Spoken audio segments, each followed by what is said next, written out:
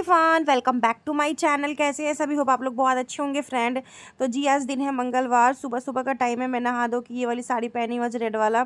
और अब पता है, साड़ी पहनने का नहीं उतना मन करता है, क्योंकि पेट बहुत ज़्यादा दिखने लगा है ना.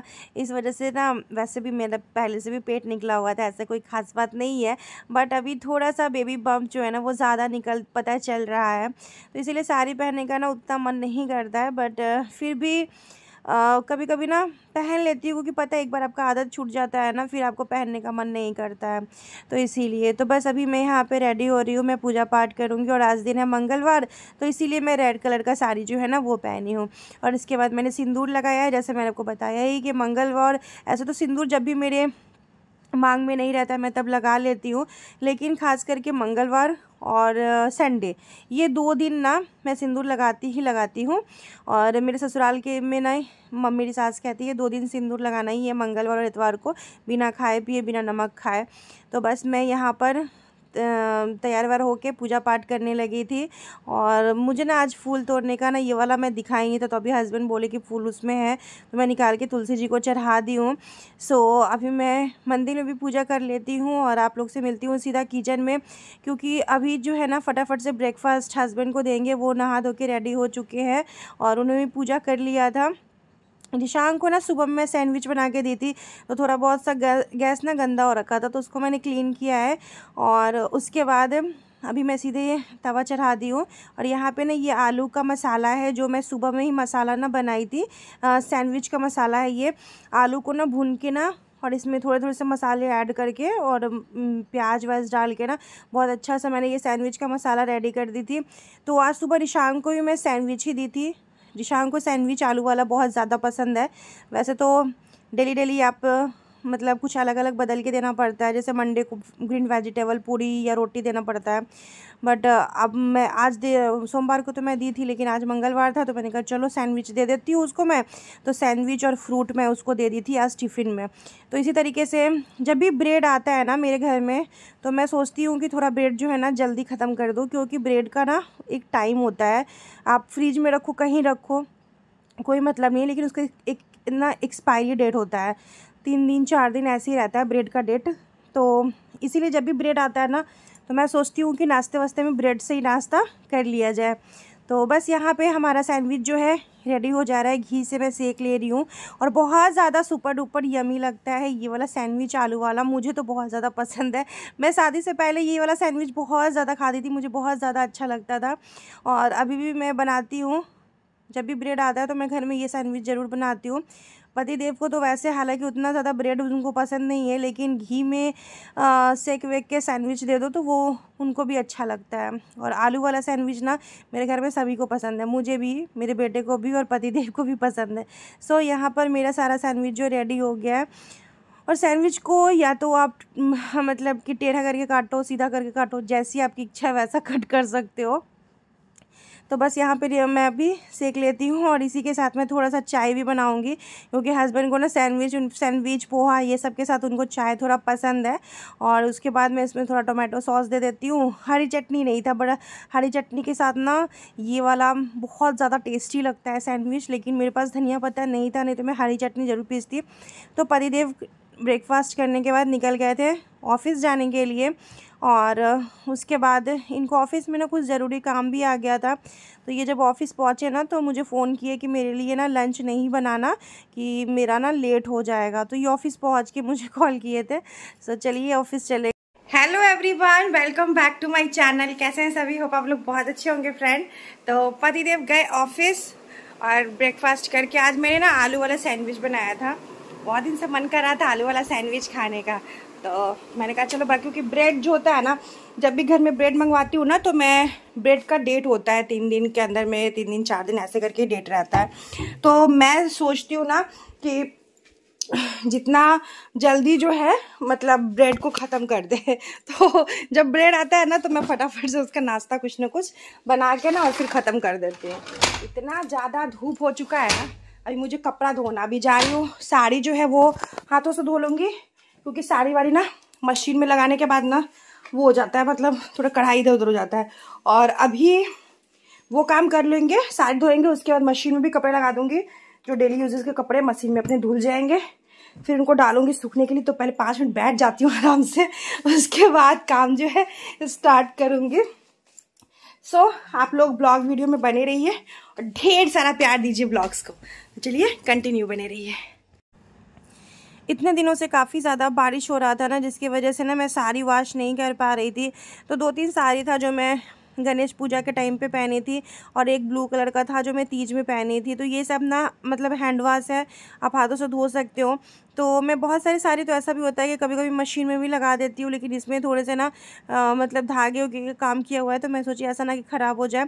तो जो भी डेली यूज़ के कपड़े हैं तो वो सारे मैं मशीन में डाल दूँगी और ये सब कपड़े जो है साड़ी वाड़ी में जो हाथ से ना धो दूँगी क्योंकि साड़ी ना ख़राब हो जाता है मशीन में डालो। अगर उसमें ज़्यादा कढ़ाई वढ़ाई है तो वो तो ख़राब होने का डर रहता है। इसीलिए मैं साड़ी को मशीन में बहुत कम ही डालती हूँ तो बस अभी यहाँ पर फटाफट से सर्फ डाल दिया है मैंने और यहाँ पर मैं साड़ी को जो है वो धो लूँगी। और पता है आपको कपड़े ना मैं बहुत कम ही धोती हूँ हाथों से, क्योंकि मशीन में सारे कपड़े ना मैं मशीन में ही लगा देती हूँ। लेकिन जैसे कुछ हेवी वर्क वाला हो गया तो उसको मैं शैम्पू में या फिर मैं इस तरीके से मैं धो देती हूँ। तो ये साड़ी मैं तीज में पहनी थी और बहुत अच्छा लगा था। ये मेरे हस्बैंड का पसंद का साड़ी था।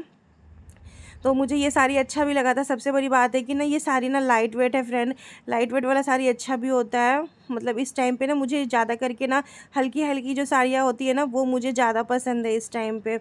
तो मैं ले भी रही हूँ उसी टाइप की हल्की हल्की साड़ियाँ ही ले रही हूँ, क्योंकि भारी भरकम तो मैं खुद हूँ तो भारी भरकम साड़ी मैं नहीं अभी फ़िलहाल पहन रही हूँ।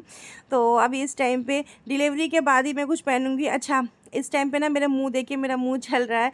तो मैं ना चॉकलेट खा रही थी, एक पल्स वाला चॉकलेट आता है ना तो पहले तो मुझे अच्छा नहीं लगता था वो चॉकलेट लेकिन अभी प्रेगनेंसी में ना मुझे पल्स वाला चॉकलेट इतना ज़्यादा पसंद है ना कि मैं आपसे क्या बताऊँ फ्रेंड बहुत ज़्यादा मुझे अच्छा लगता है ये पल्स वाला चॉकलेट बहुत ज़्यादा टेस्टी लगता है और बस यहाँ पे मेरे कपड़े जो है, वो मैंने धोना शुरू कर दिया है। और अभी जब भी आप वीडियो शूट करो या कोई काम करो ना तो फ़ोन तो आना ही रहता है। तो लेकिन मैं फ़ोन उठाती नहीं हूँ। पहले मैं अपना काम ख़त्म कर लेती हूँ, उसके बाद ही मैं फ़ोन वोन जो होता है ना, उठाती हूँ। क्योंकि एक बार फिर आप बात करने बैठ जाओ ना तो फिर आपका काम जो है ना, काफ़ी ज़्यादा गैप हो जाता है। तो इसीलिए मैं पहले अपना घर का काम कंप्लीट कर लेती हूँ, उसके बाद ही मैं फ़ोन पर बातें करती हूँ। क्योंकि मेरा कहीं भी बात होता है ना तो बहुत लंबा चल चलता है। तो इसीलिए पहले मैं सोचती हूँ कि घर के काम कर लूँ।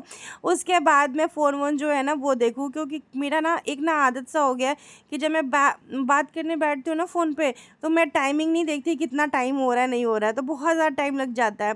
तो इसीलिए पहले मैं काम कर ले रही हूँ उसके बाद ही मैं जिसका भी जिन लोगों का भी कॉल आता है तो उसके बाद ही मैं बात करती हूँ। सो यहाँ पर मैंने साड़ी जो है मैंने धो लिया है अभी इसको बालकनी में ही मैं सूखने के लिए दे दूँगी क्योंकि छत पर ना नहीं जाऊँगी क्योंकि तुरंत धूप हो रहा है तुरंत बादल लग रहा है तो कहीं अगर मैं रूम में आई और बारिश होने लगा तो फिर मुझे जल्दी से दौड़ दौड़ के जाना पड़ेगा। तो इस वजह से ना मैं ना बालकनी में ही साड़ी सब ना सूखने के लिए दे दूँगी। और यहाँ पे जितने भी डेली यूज़ के कपड़े हैं ना, सारे को मैंने मशीन में डाल दिया है धोने के लिए और ये सब अपना धुलते रहेगा। और तब तक मैं साड़ी जो है वो मशीन थी क्या बोल रही थी? साड़ी जो है बालकनी में डाल दूँगी। और मैं बोलते बोलते ना मैं अपनी इधर का लैंग्वेज बोलने लगती हूँ, अथी कथी ये सब कुछ। सो यहाँ पर पहले मैंने तो उसको थोड़ा सा साफ़ कर दिया है, क्योंकि डस्ट वस्ट जो है ना रोड पे घर है तो डस्ट वस्ट आते रहता है। बहुत लोग बोलते हैं, अपने घर का बाहर का व्यू आप शेयर नहीं किया कीजिए। तो ऐसा कोई ख़ास मैं बाहर का व्यू जो होता है शेयर नहीं करती हूँ घर का, लेकिन थोड़ा बहुत से आपको बालकोनी में काम कर रहे हो तो कुछ भी कर रहे हो तो वो आपको तो शो करना ही पड़ेगा फ्रेंड है ना? तो बस ऐसे ही मेरा सुबह से शाम जो है ना कट जाता है। रिशांग के आने से पहले मैं सोचती हूँ कि घर का सारा काम कंप्लीट कर लूँ।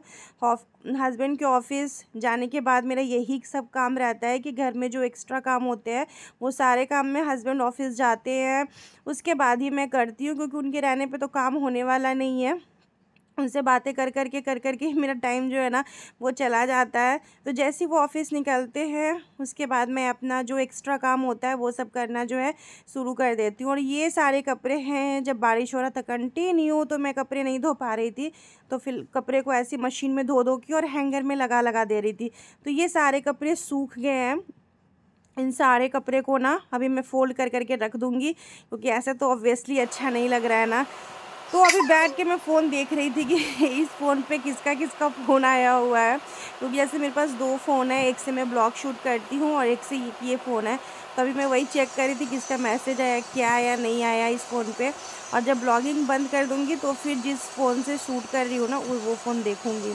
तो ऐसे ही होता है। जब मैं किसी का फ़ोन नहीं उठाती हूँ ना तो मतलब आगे वाले इंसान को भी समझ में आ जाता है कि अच्छा ये कुछ ना काम कर रही होगी या ब्लॉग शूट कर रही होगी। अच्छा एक रिक्वेस्ट आप लोग से करूँगी, जो लोग इंस्टाग्राम पे मेरे को फॉलो नहीं किए हैं तो प्लीज़ मेरे इंस्टाग्राम आईडी को फॉलो कर दीजिए। अंतरा सिंह ऑफिशियल से मेरा इंस्टाग्राम आईडी है।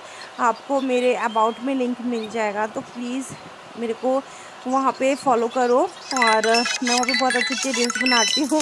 तो प्लीज़ अगर वो पसंद आए तो लाइक करना फॉलो करना और कमेंट ज़रूर करके बताइएगा। तो बस यहाँ पे सारे कपड़े मेरे हो गए फोल्ड और साथ ही साथ ही में पता पता है, आलू, सोयाबीन डाल के मैंने तहरी भी बनाया है, क्योंकि हस्बैंड फ़ोन कर दिए थे कि वो आज ऑफ़िस में उनको बहुत ज़्यादा काम है, वो लंच पे नहीं आ पाएँगे, वो लंच उधर ही कर लेंगे। तो इसीलिए ना, मैं ना ये बना ली हूँ, तहरी बना ली हूँ, सोयाबीन, आलू डाल के, और मुझे ये तहरी बहुत ज़्यादा पसंद है, और इतना खिला खिला सा ये तहरी बना है ना, बहुत ज़्यादा टेस्टी बना है। तो निकाल लेंगे तहरी, और इसके साथ में दही खा लूँ। दही मुझे बहुत, तहरी के साथ ना मुझे दही बहुत ज़्यादा पसंद है। तो साथ में थोड़ा सा ऊपर से नींबू डाल लेते हैं, थोड़ा खट्टा खट्टा और भी ज़्यादा अच्छा लगता है।